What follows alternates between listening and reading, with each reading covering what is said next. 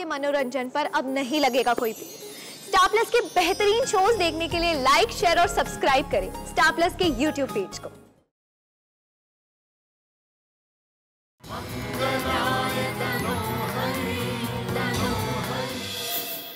माँ आज ये कुमुद है।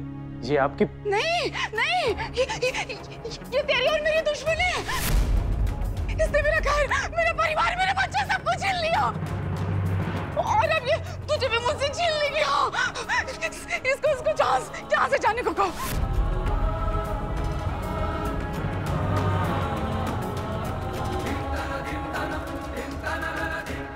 हमें मार डालना चाहती है।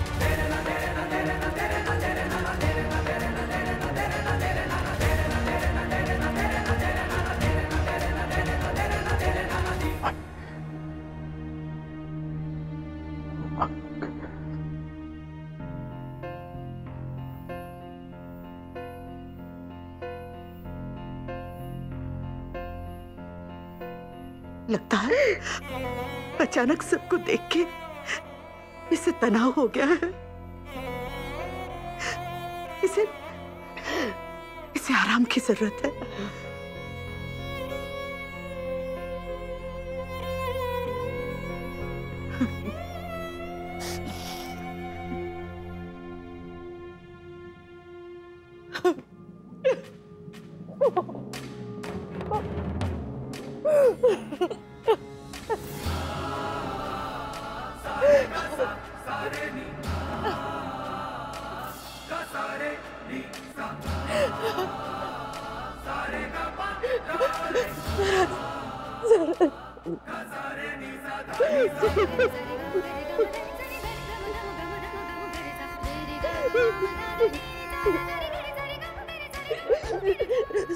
जरा माँ माँ क्यों कह रही है कि कि, कि मैं उनकी दुश्मन हूँ? कि, कि मैं चाहती हूँ कि वो मैं मैं उन्हें मारना चाहती हूँ। वो ऐसा क्यों कह रही है कि कि, कि मैंने उनका सब कुछ छीन लिया सरस? क्यों? क्यों सरस? वो उन्होंने उन्होंने हॉस्पिटल में मेरा दिया हुआ खाना नहीं खाया। और और मुझे मुझे मुझे कुछ समझ नहीं आ रहा है मुझे तब तब भी कुछ समझ नहीं आ रहा मुझे मुझे कुछ समझ नहीं आ रहा है वो क्यों ऐसा क्यों सरस क्यों क्यों? क्यों? मेरी मेरी बात सुन मेरी मेरी, मेरी बात सुन मेरी बात सुन। देखो तुमने माँ की हालत देखी है देखी है ना माँ की हालत वो किसी को पहचान नहीं पा रही इसलिए वो, नए चेहरे देख के घबरा हो और और कोई बात नहीं। वो हमारे बीच तो आ गए पर पर पूरी तरह नहीं कुमुद सिवाय मेरे चेहरे के वो किसी को पहचान नहीं पा रहे। देखो हमें उनकी मदद करनी होगी ताकि वो पूरी तरह ठीक हो जाए। फिर तुम देखते वो तुम्हें भी वैसे ही प्यार करेंगे जैसे वो मुझे करती तब तक के लिए हमें संभालना होगा। तुम हो ना मेरे साथ? हमेशा सरस।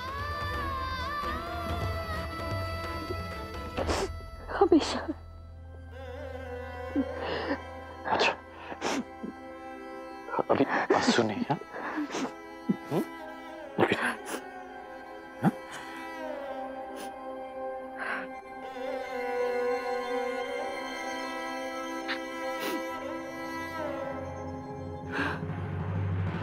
है भाभी, मैं आप और मोटी बहन, अपने बच्चों को कितना प्यार किया करते थे अब हमारे बच्चे बड़े हो गए कुमुद और सरस ने अपना घर बसा लिया है। उन्हें आपके आशीर्वाद की ज़रूरत है। आप जल्दी से ठीक हो जाइए। फिर मैं भी अपने समदन होने का फ़र्ज़ अदा करूँ।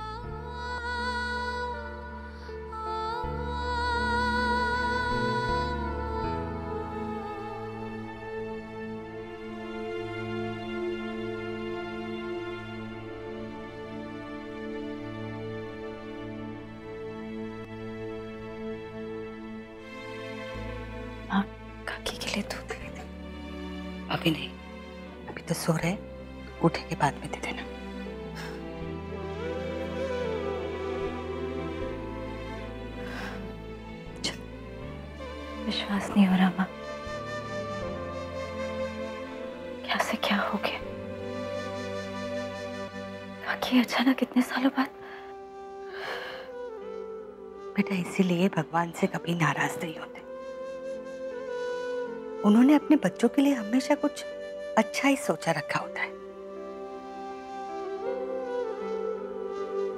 काकी के वापस आने में भी कोई ज़रूर कारण होगा।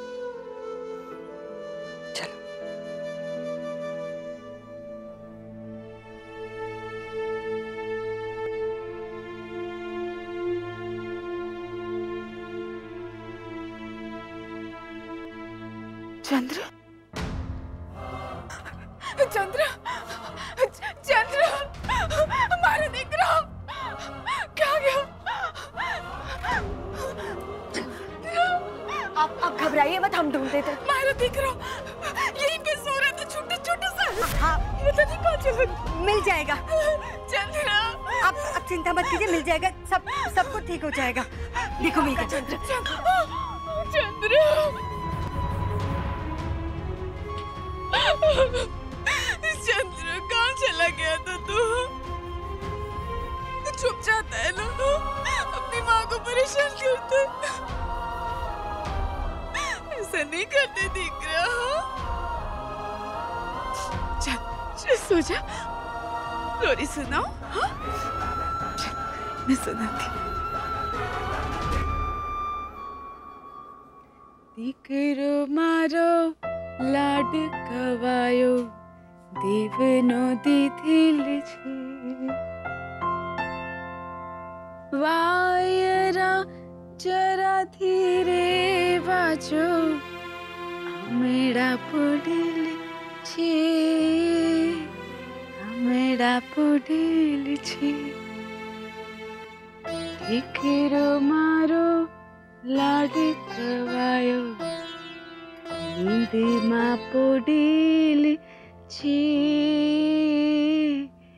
નીંદમાં પોડેલ છે દીકરો મારો લાડ કવાયો દેવનો દીધેલ છે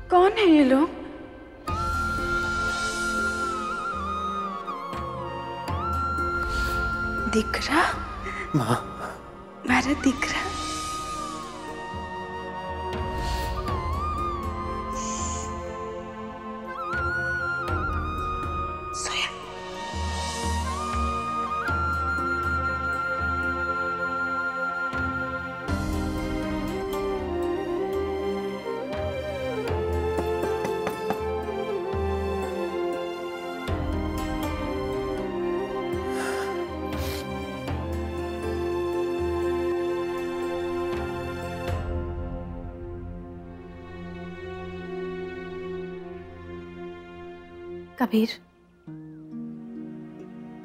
शायद मेरा यहाँ आना तुम्हें अच्छा नहीं लग रहा, पर मैं अपने आप को रोक नहीं पाई।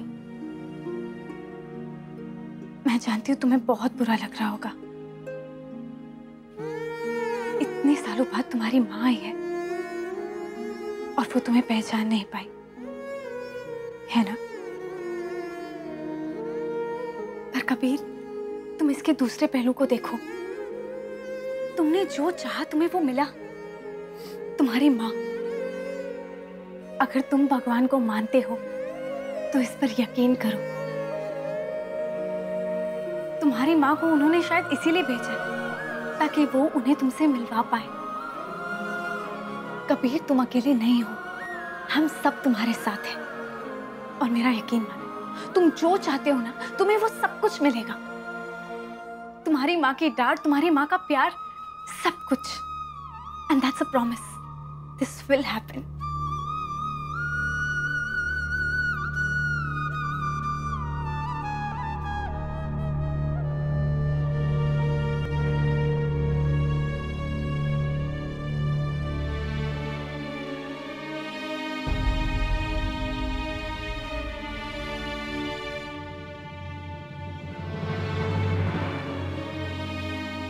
हाँ मैं मैं अभी आया।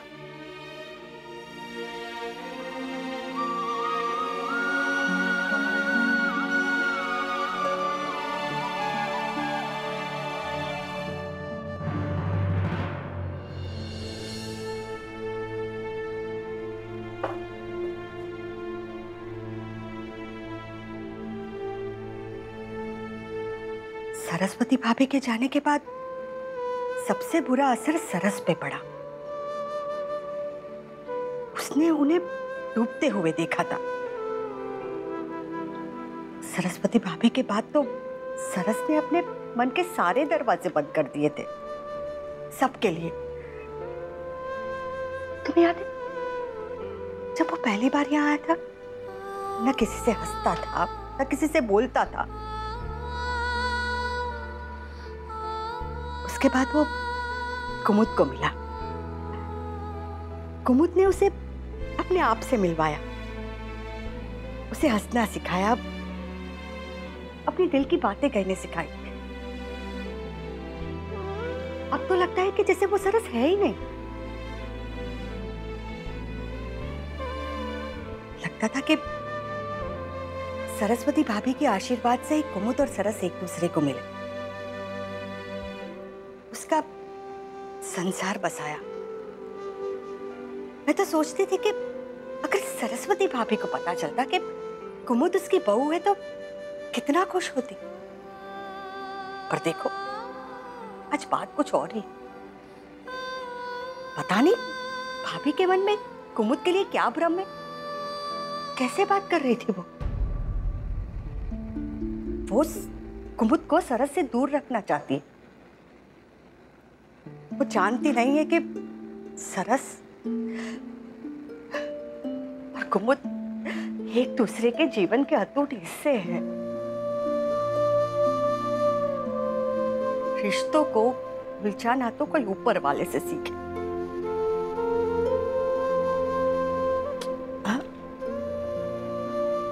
सरस, कितना खुश था ना कुमु दीदी को सरस्वती माँ से मिलाने के लिए।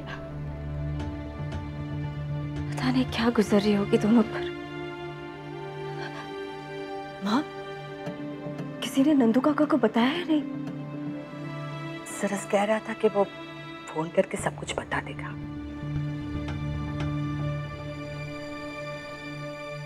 बड़ा होगा फिर स्कूल जाएगा है ना? और फिर अपनी माँ का ख्याल रखेगा है ना? सरस्वती?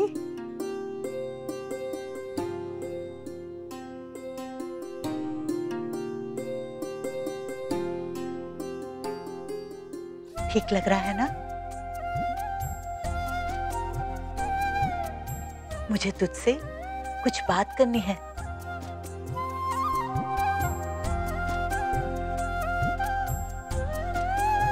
तुझे याद नहीं है,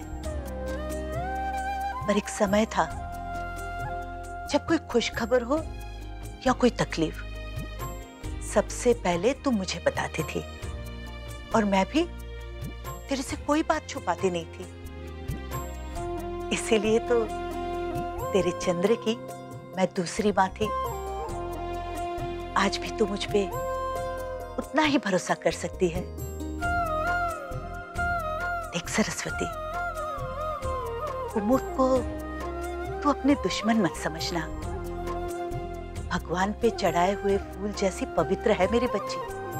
उसका किसी से बैर हो ही नहीं सकता। वो तो लोगों को अपनाना ही जानती है।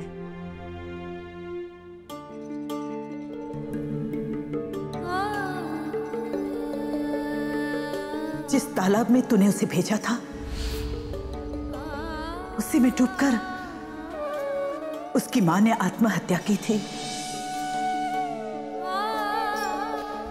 आज आपने मुझे बता दिया है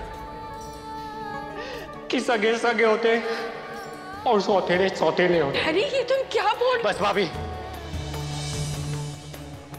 मैंने सोच भी कैसे लिया कि मैं किसी के साथ रिश्ता जोड़ सकता हूँ। मुझे रिश्ते रास नहीं आते हैं। माँ मुझे बचपन में ही छोड़कर चली गई। नए रिश्ते क्या बनाऊँगा? जब विरासत में मिले हुए रिश्ते ही नहीं संभाल पाया तो। आप लोगों के लिए इसकी माँ आज यहाँ पर नहीं। पर इसके लिए इसकी यादों में, इसके संस्कारों के रूप में इसकी माँ इसके साथ है। जो इंसान रोज मंदिर जाता है, क्योंकि उसकी माँ मंदिर जाया करती थी, उस इंसान पर आप लोग गौ माता की हत्या का इल्ज़ाम लगा रहे हैं।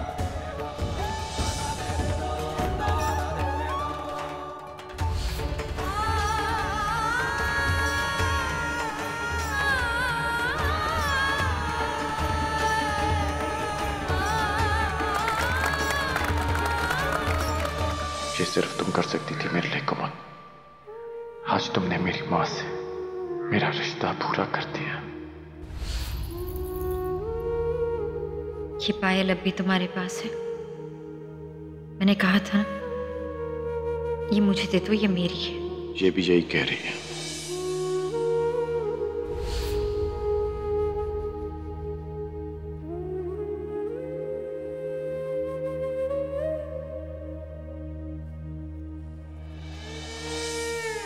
सरस की पहचान उसकी माँ से। कुछ भी हो जाए, अब माँ को सरस से कोई अलग नहीं कर पाएगा। बड़ी भागशाली है तू सरस्वती, जो कुमुद तेरी बहू है। हाँ वो तेरे चंद्र की पत्नी है। उसे नया जीवन देने वाली वही है। उसे बस एक मौका दे दे। फिर देखना, कितना प्यार करती है वो तेरे बेटे से। और तेरा कितना ख्याल रखती है। देखी ना उससे मौका।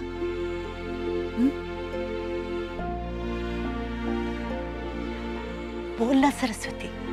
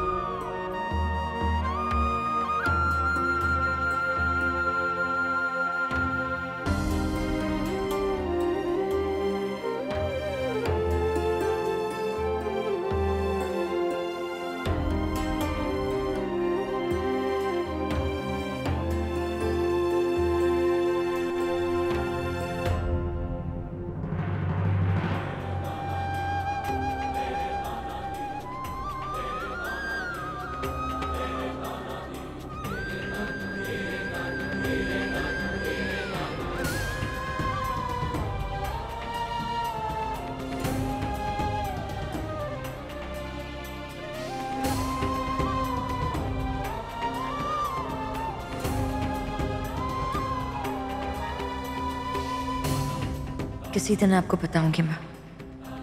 आपके बेटे से कितना प्यार करती हूँ मैं। जब से सरस से प्यार किया, तब से आपको हमेशा साथ पाया। जल्दी से ठीक हो जाए आपका चंद्र आपका इंतज़ार कर रहा है। और मेरे घर की भी अधूरी तस्वीर पूरी कर दीजिए।